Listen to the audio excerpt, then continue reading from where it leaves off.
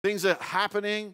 Um, just behind me, I just want to share what's happening in the life of the church. And uh, uh, do you know that guy? That's Nathan Delarenzis. That's actually the INC annual report, and he made it on the annual report. I don't know where he's been for the last three or four weeks. Haven't seen him, but he's on.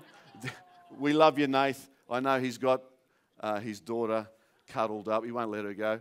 But um, yeah, that's that's uh, I, INC annual report. So he made it on there on the inside cover, and then we also made it on the church planting uh, page, and that's Pastor Nick and Kim there. Spotlight on church planting. Come on. So uh, we made it in the uh, INC annual report, and uh, it speaks very good. St- I didn't even realize some of this stuff. You guys, you guys are amazing. Is that all true?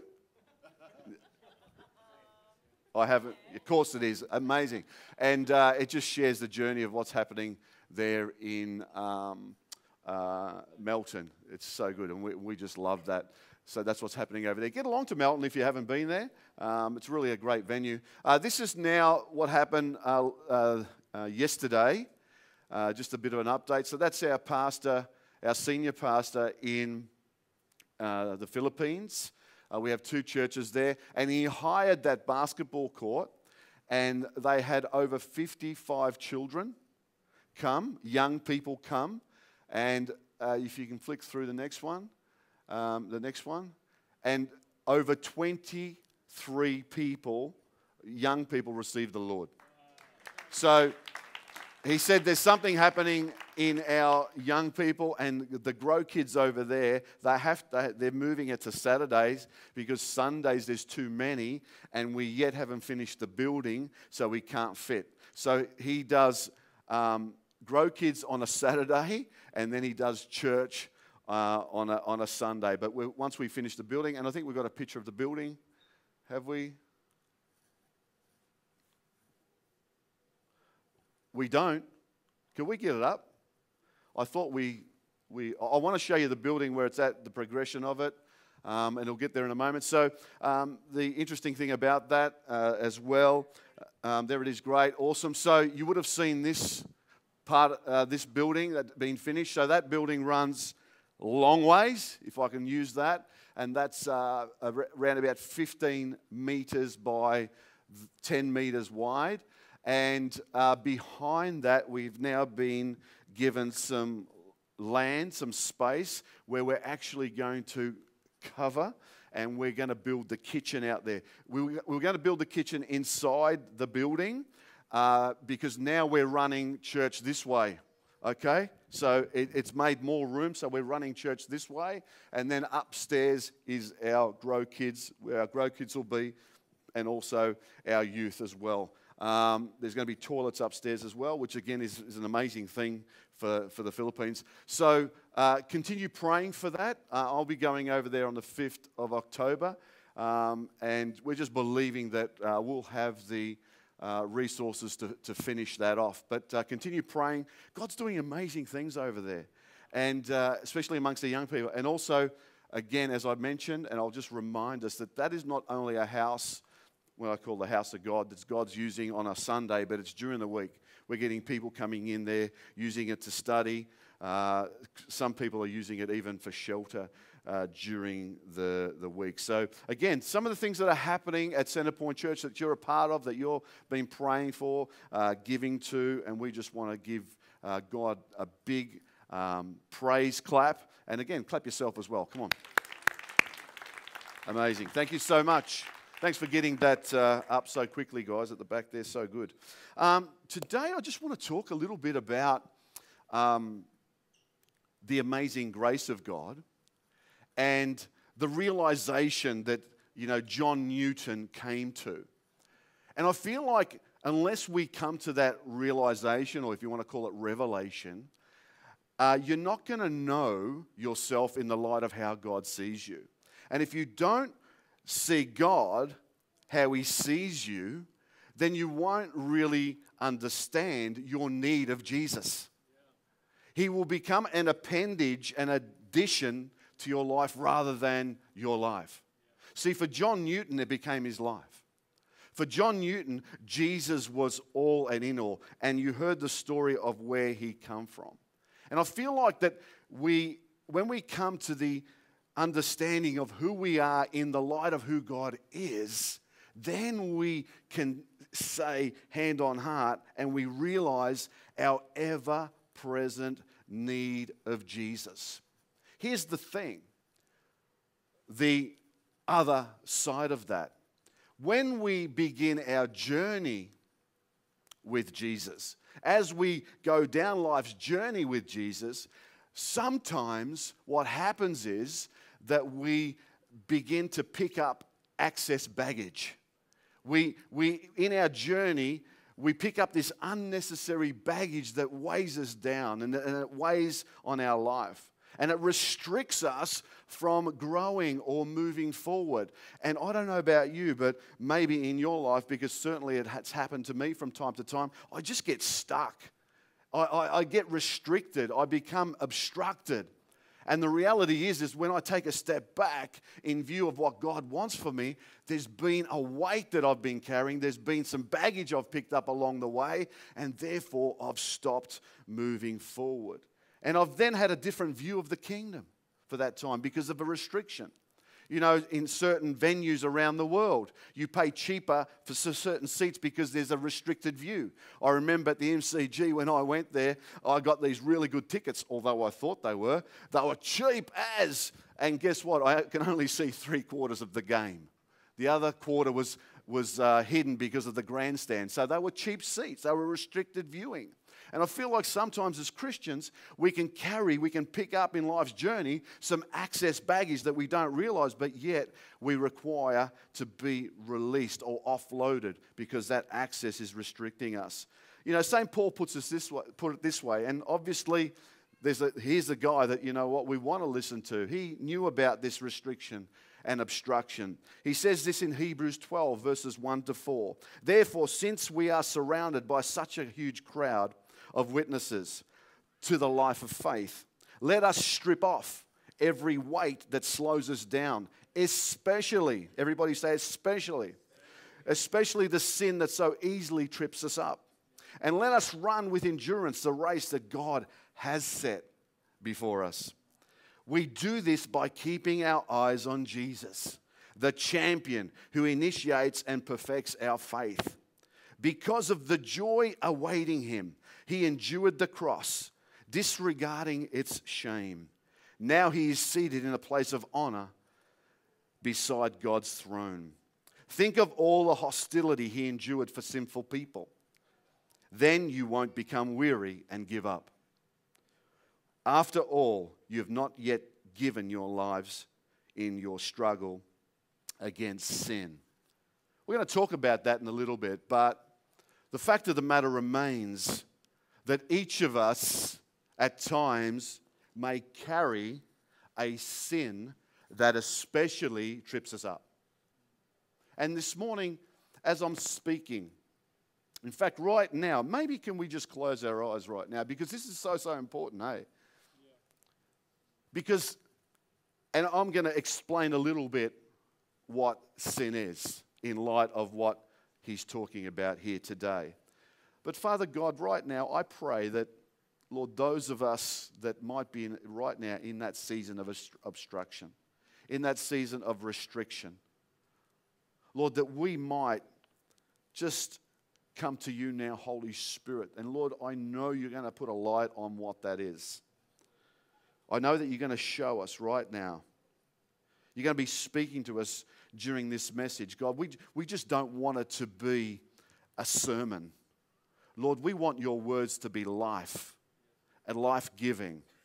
And Lord, transforming us into the person and persons that you have planned for us. So, Holy Spirit, speak to us. Bring to the light that which easily trips us up, that we might, Lord, strip that off so that we can keep our eyes on you and run the race. Thank you so much. So I'm believing that during this message, some of you are going to get a light on that, whatever that is. And my prayer is, is that you don't walk out of here without stripping off. Um, you know what? New seasons, we talk about it, they're about change, but not necessarily about changing location. The reality is, is when it comes to God, more times often than not, change is about space. It's about making more room. See, God has so much for us, but sometimes we uh, fill up that space with baggage that restricts the room that He wants to make so that He can give you what He's already set for you. Does that make sense? So, the whole spirit of why Paul is saying what he's saying is he's saying, hey, we want you, God wants you to strip off that baggage uh, that we pick up during our journey.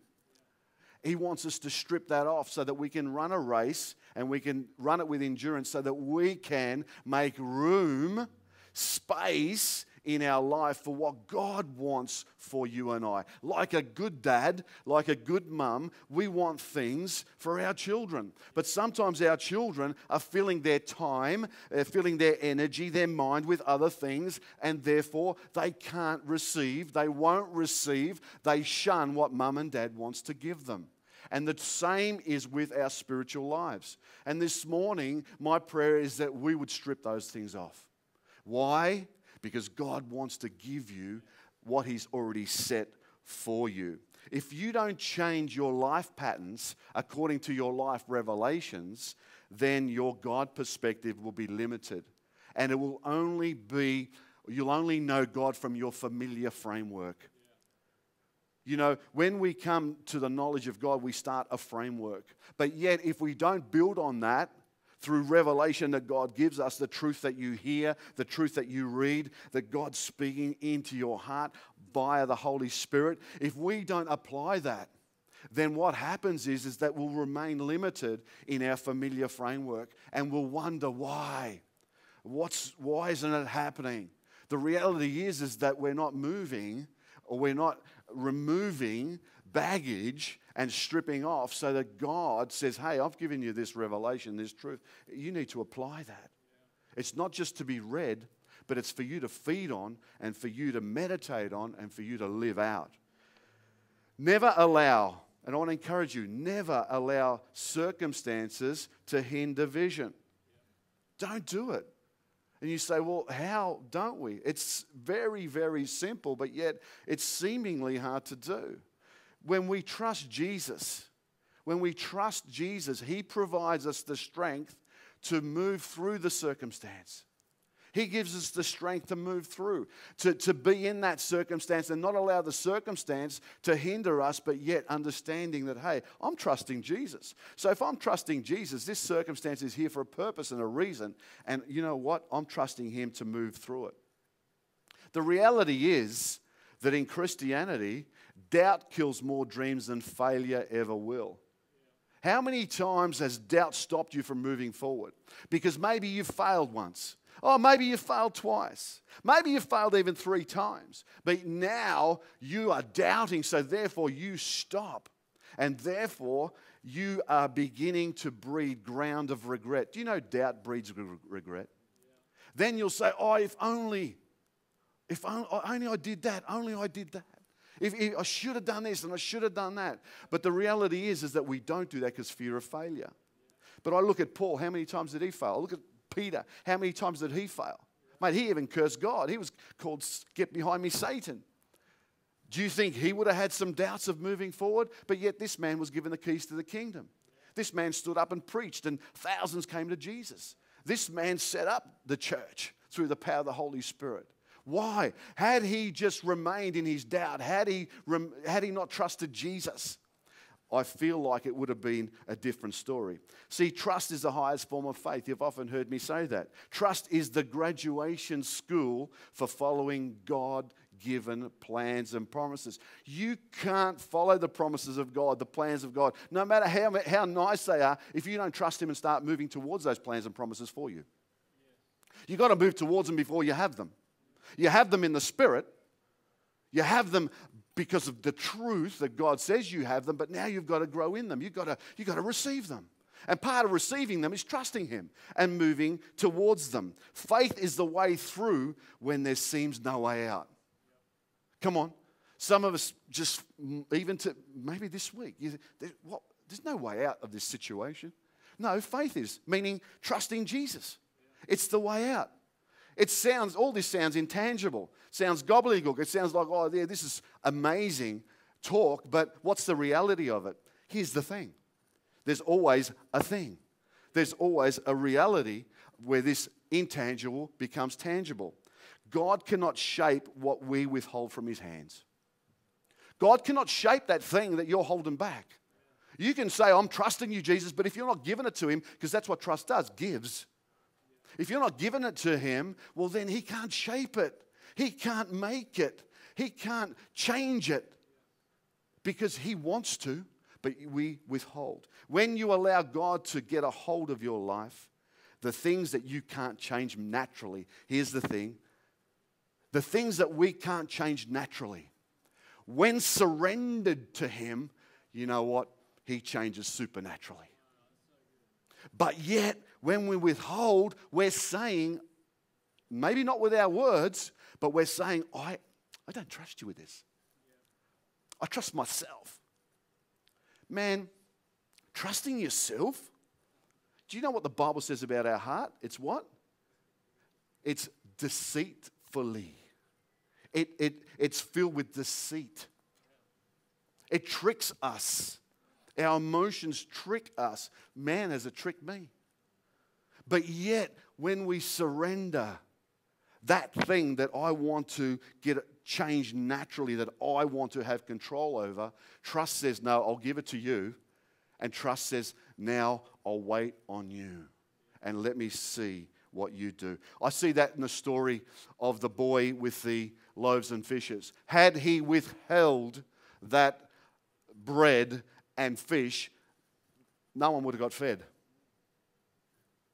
He withheld it. It wouldn't have got fed. But because he was willingly, he, he willed to surrender to Jesus, only fish and loaves, guess what? Other people were fed. And I want to say this there are some things in our lives that we're withholding, and actually, because we're withholding them, other people aren't finding Christ. And this is not like i am putting a burden on us, it's the reality. Who are these people out there going to hear Jesus from if it's not from us? Who are they going to see a test? Who are they going to hear a testimony from if it's not us? And, and if it's not us, it's because, you know what? We're holding back. We're, we're sitting in our homes. Why are we sitting in our homes? Because we feel guilty, because we've failed, we tried that, oh, I got no power. All of that kind of stuff. Surrender it. Surrender it to Jesus. He did not leave you here so that you would sit at home in self pity. Sit at home in a place where you think you have nothing to offer. You have Jesus to offer. Your life is an offering, but we've got to offer it back to Him. What about the woman who was bent over 12 years, who had a, a, a massive issue of blood for 12 years. Long time. Some of us have got long time stuff that we've been holding on to. She took a, ma- a massive risk touching a man of God being unclean. That is stoning, guys, according to the law. But she chose to put that aside and said, I'm going to trust Jesus. He, if he's the guy with healing in his wings, because that's what it was in his tassels, he, she touched the tassel, the hem of his garment. She t- and he said, Somebody touched me. Power's left me. Do you know Jesus is waiting for you to touch him? Jesus is waiting you to hand over. He's just waiting. There's power, there's grace, there's mercy, there's forgiveness. He is full of it. And in a good way, in a God way, not like we say that about someone else. Hey, you're full of it. We're talking about He's full of the goodness of God. He's the carrier through the power of the Holy Spirit. Come on, 12 years, long time. Some of us have got long time baggage. We've got long time stuff. So, how do we do this? Well, St. Paul tells us it's time for us to strip off. Imagine if he stopped there. You need to strip off. It'd be a sore sight, wouldn't it? If I started stripping off here, Peter, would you be running back to Geelong? You'd forget about your car. What's he asking us to strip off? It's stripping off the weight that slows us down Now, I don't know about you, but I've even heard it in the natural. I've spoken, I've said this myself. You know what? I've got to get rid of this weight because it's slowing me down. It's slowing me down. I've heard people talk about, oh, this weight, this excess weight I'm carrying, slowing me down. Um, you know, I'm not as sharp anymore. I'm tired. I'm lethargic. There's weight in the natural that slows us down. Same in the spirit. We pick up stuff that slows us down. And the writer to Hebrews is talking about a retardant weight, a, a, a weight of heaviness. It might be of heart, it might be of soul, it might be of spirit. It's something we've picked up that weighs heavy on us. It's not light. You know, Christianity is meant to be fun. And I'm not talking about happy clappy, but it's enjoyable. It's challenging. It's adventurous. It's not this. That's burden. And Jesus says, if you're walking around like this in the spirit, come to me, all of you are heavy laden. He, he's got the answer. He doesn't want you to walk around like this in the spirit. He, you're a son, you're a daughter. He wants you to be freed of that. And he's saying that he wants us to strip off what's not light, what is not heavenly, but heavy. He wants us to live heavenly, not heavy. So, what is the sin that so easily trips us up? I just want to focus a little bit about that because St. Paul is not talking about the sin as in the beginning, what happened with Adam, sin nature, because Jesus Christ came to die for that. But he's talking about sin in the form of trespass. He's talking about sin, which means to fall short of the mark.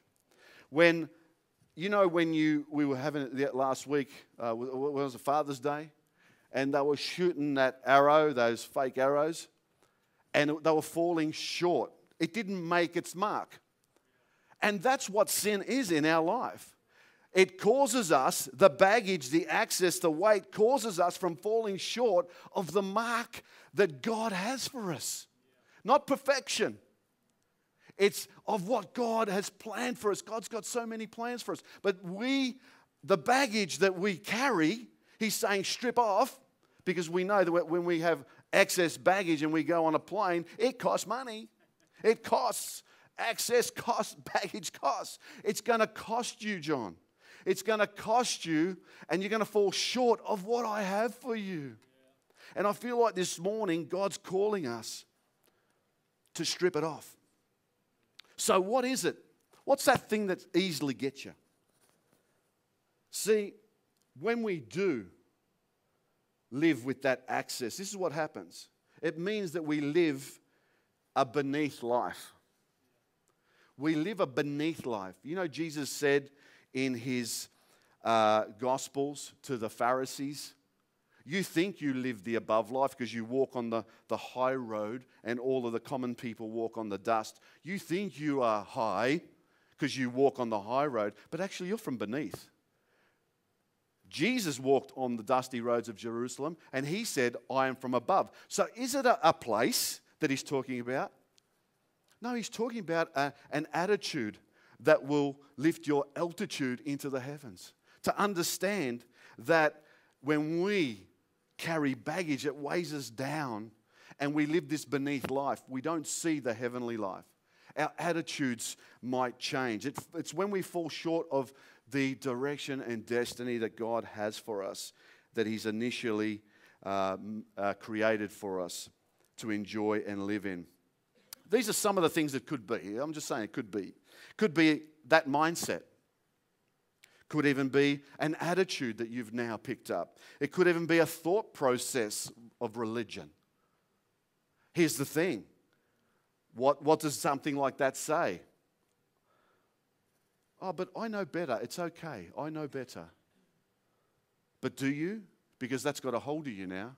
That's weighing you down now. You think you know better. You think you're in control. Or maybe it's an indulgence or a habit which you're saying, oh, it's under control. How many times have I heard people indulge in things or they, they, they've got a, a habit that they say, it's okay, Pastor John, it's under control? How can you even think that an indulgence that's not godly or a habit is under control. No, yeah, that's right. You're under the control of it. Absolutely. And it's robbing you, and you're falling short of the mark of what God wants for you in your life. And this morning, I feel like some of us, we're going to surrender. We're going to strip off this stuff. Many say losing weight is all in the mind. I say, if that's the case, my stomach never got that email. I wish it was all in the mind. The reality is, it's not. Otherwise, we wouldn't have Jenny Craig programs, Tony Ferguson weight loss, body trim, light and easy, the paleo diet, the no carbs diet, the protein diet. And right now, I'm on a diet of coffee and lemon. And it's working, by the way. It's working. Coffee and lemon. And I'm going to add some garlic and parsley because I know my Lebanese friend, Pastor Rob, says that's even better. But why do we have these weight loss programs if it's only in the mind? The reality is, is you know what, we've picked up some bad habits when it comes to eating. You know, gnocchi at 10 o'clock at night. Yeah, it is beautiful. But it creates baggage, doesn't it? So, you know, you want to change your body, you've got to change your eating habits. You've got to remove some stuff. Someone said to me, the best way to lose weight is to keep your mouth shut and close your eyes to food. Well, yeah, that would mean I'd be dead. Because only then would my eyes be shut and my mouth be shut when you're dead. So that's not going to work. But when it comes to the kingdom, according to St. Paul, uh, these aren't my words, so speak to him. According to St. Paul, stripping weight off in the kingdom is totally opposite to shutting your mouth and your eyes. In fact, it's keeping your mouth open, praising Him, worshiping Him. It's keeping your eyes open to Jesus, seeking Him first in our lives. Totally opposite, totally different. Shutting our mouth, shutting our eyes to food when it comes to that weight. But when it comes to a weight that we've picked up, it's about praising Him. God, you know what? I'll worship you. Man, I'm coming to you because I got weight. And I'm going to follow you. I'm going to trust in you. For some of us today, it's time to strip off that weight that so easily trips us up. Easily. And I'm saying easily. It trips us up. Why? So we have the endurance. Paul talks about an endurance. We have an endurance to commit to the maintenance program that He's already set up. We don't have to go looking for it, He's set up. He's saying, if you come to me, I've got the maintenance program. It's called relationship. My Holy Spirit will tell you. And guess what? We'll come back into an alignment and we'll continue to look to Jesus. And I feel like some of us need to stop waiting, but we need to start to strip off and say, Here it is. Or we need to stop and wait. Some of you are waiting for someone else to do it for you. It ain't going to happen. You know, you can, you can go uh, to a trainer and he's got all of the, the, the keys to, to weight loss and whatever. But then if you do that in front of him and you go home and go to the pantry, let me tell you, it's not going to work. I've tried it. It's not going to work for that half an hour doing what he's telling you to do, and then you go home and live a, a, a different lifestyle. When we're talking about portions, we're talking about when to eat. Yes, sir. No, sir. Three bags full, sir. We go home and then we hit the pantry and it's our own way. And I feel like some of us do that when it comes to the things of God. We get the revelation on it, but then we don't have endurance. Why? Because we haven't stripped off. You know, um, I can't remember when it was, but it was, I think, while while COVID was on. Um, I loaned my car to my, my son in law. And uh, when I hopped in it, well, I'm blaming him anyway, it's probably me. When I hopped in it, you know, my car was like pulling to one side. It was like, you know, I needed every kind of ounce of force to um, hold it straight. And the fact of the matter is, you know, you can hit the gutter or curb with your car and you might not break anything. There might not be anything visibly broken. But what you will find is that it will alter the way it drives. It will alter the way it drives. Your alignment will be out. The car's tires will wear. Any mechanics here? The car's tires will eventually wear, and that steel stuff will start coming out. And like I said, you might have to apply brute force because that's what I needed to do. And it was probably me that hit the curb, I don't know. But I had to apply brute force to keep this thing going straight. And even when I would pull up, the wheels would start to wobble and the whole shaking up the steering wheel, and you'd be shaking the steering wheel. I don't know if that's ever happened to you. But that's only because my car was out of alignment. I'd hit a curb. And you know what? Sometimes as Christians, we hit a curb.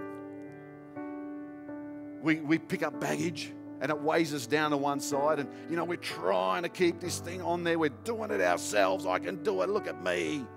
But God doesn't want you doing that. He wants to spend your energy on loving someone else, not trying to keep your, your life on track because He's saying, Come to me and I'll keep your life on track. But we're trying to keep our life on track. In Luke 15, the prodigal son's life altered. Why? It was out of alignment. Why? Because he stopped looking to his father as the provider. He said, Mate, I'm on my own now. I'm a big boy now. Thank you. I'll have my inheritance right now. You don't need to provide for me anymore. I'm going on my own. And we know what happens. Effectively, he veered off the favor freeway.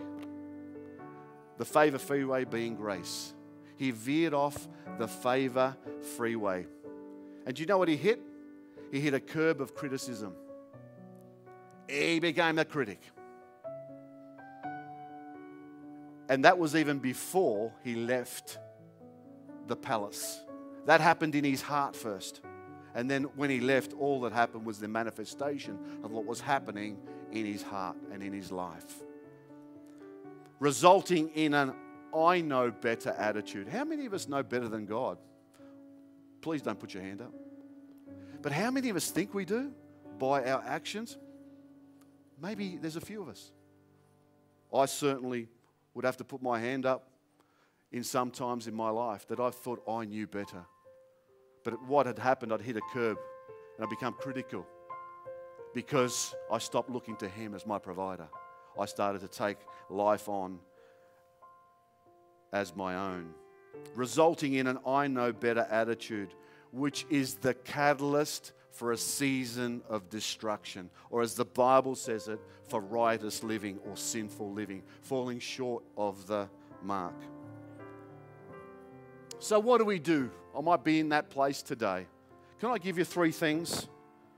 Can I give you three things to align ourselves again? The first thing is that we've got to understand that we must come to ourselves. We've got to, we've got to come to ourselves. We've got to have a, a, a reality check. Boy, do they hurt. Boy, are they scary. A reality check. And especially when someone that you look to actually tells you that's even worse. When they say, Really, John, this is who you are. Wow. Reality check. Being real. I know that that's a, a, term and a cliche nowadays, but it's being authentic to who you are. And that's okay. But we need to be there. We need to come to that understanding. We need to come to that, that place. See, the truth still sets you free. It's not just we read the truth shall set it still sets you free. Masks and facades keep us trapped in isolated environments, robbing us, robbing us from the freedom to travel on that favor freeway for our lives. Number two, so one is understanding that we must come to ourselves. Number two, you know what? Humility is comfortable with honesty, they go hand in hand.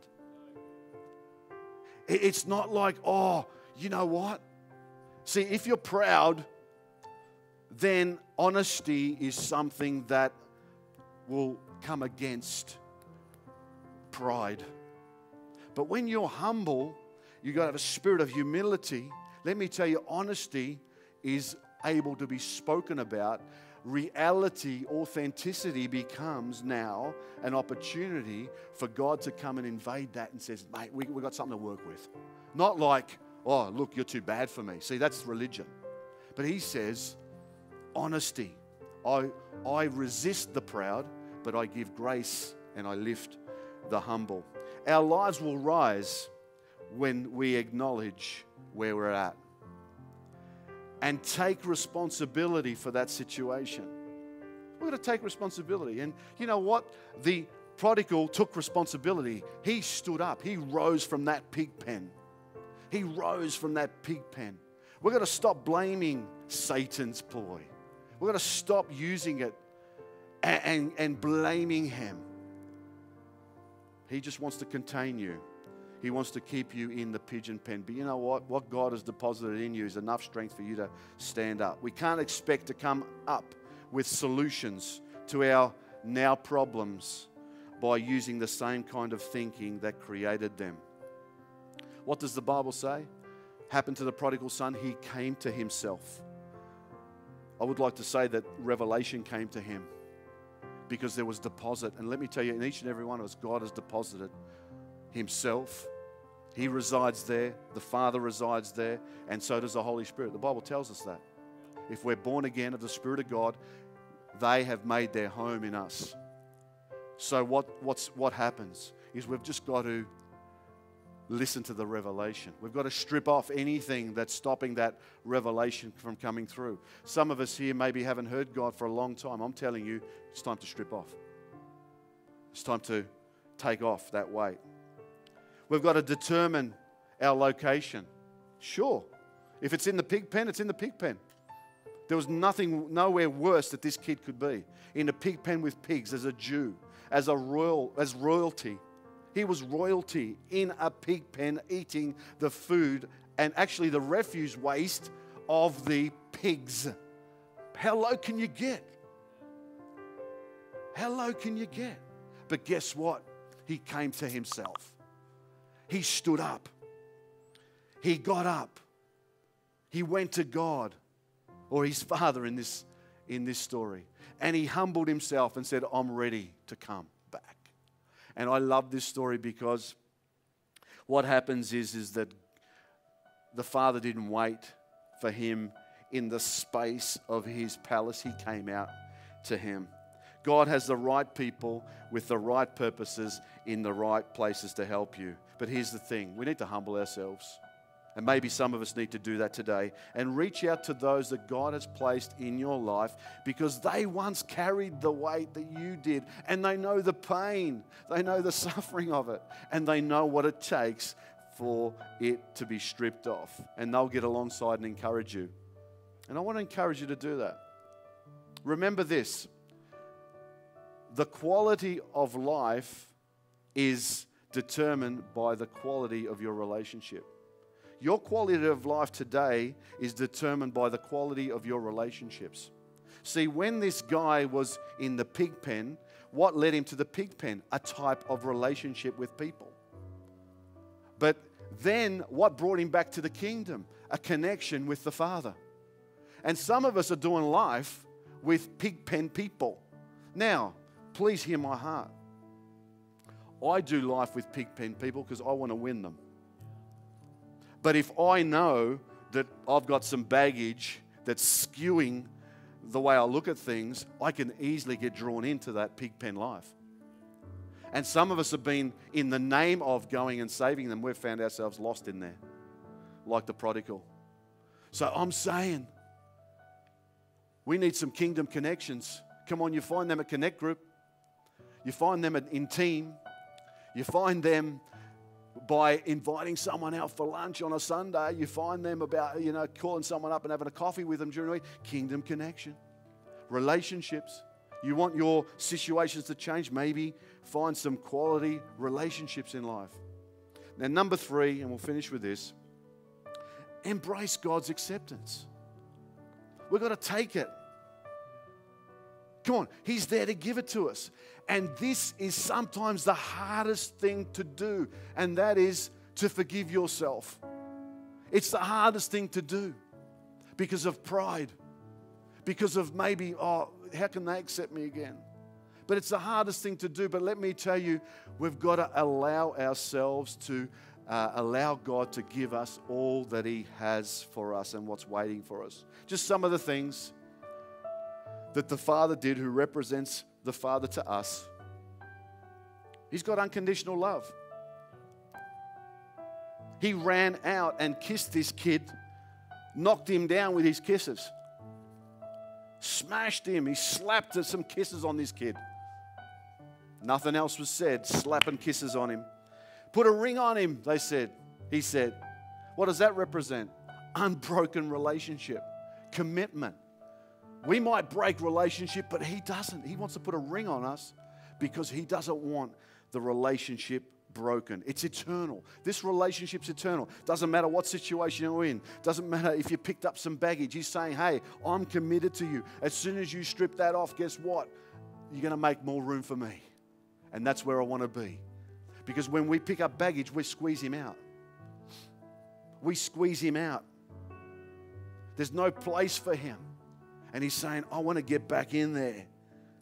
Sandals. He was given sandals because he came, he's lost everything. What are sandals? They're the steps that are ordered by the Lord. They're the shoes that are going to take you. They're the, the sandals that are going to take us and they're going to help us walk according to where He has set for us. It's our GPS. He's given us His Holy Spirit, He's given us shoes to put on that we can walk in the way that He would have us walk, in the terrain that's coming our way. The robe, the robe of righteousness. What does that do? Covers all our imperfections. I love it. You know this story, not sure if I've mentioned it here, but if you actually know the culture of Judaism and uh, especially the way that this king, this palace was set up. What it is is there's the palace, and then outside the palace gates, there is another section where all the workers are tending the field. So there's the palace that's surrounded by the field, and all the workers are there. Then there's the outer gates. Do you know what the father did? He ran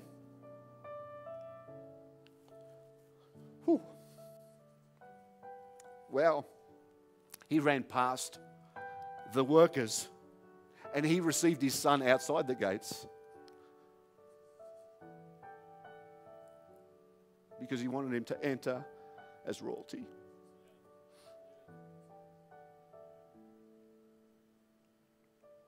He covered him with that robe. See, God doesn't want to shame you. Satan wants to shame you. But the Father wants to run through even the workers of the field and meet you outside those gates and clothe you. That's where He put the ring on, that's where He put the sandals on, that's where He put the robe on. And then guess what?